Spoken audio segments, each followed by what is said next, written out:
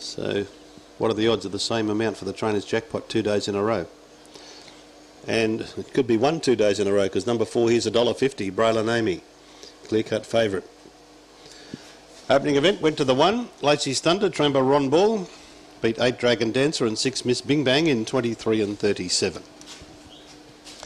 This is race two of 10 here in the Twilight Zone.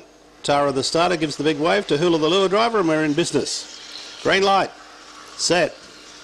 Racing. Braylon Amy away only fairly and copped a bit of a short back and sides there and Eric Rose High sped to the early lead and got away from Bella B. One good turn and Braylon Amy then came Cody's Miss and Oblivion is the last one coming off the back and it's all Eric Rose High. Another Northern Rivers visiting trainer to take the prize here. Braylon Amy goes to a clear second but Eric Rose High is clear. Eric Rose High by three to the fast finishing Braylon Amy getting up for third Oblivion in front of one good turn and they were followed home by Cody's Miss the last one home Bella B in about 23 and 10. Three Eric Rose High for Trev Thompson, 690 and 230. Four Braylon Amy, 160, so the trainer's jackpot went begging on that occasion. Seven third Oblivion, no tote obviously in the six dog field. Eric Rose High, one of the